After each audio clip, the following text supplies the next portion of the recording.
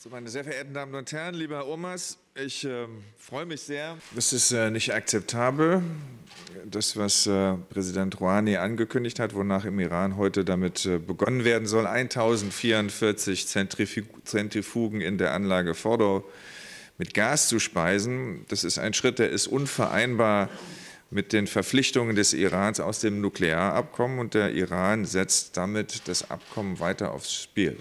Gestern hat der Iran äh, angekündigt, dass er die Verarbeitung.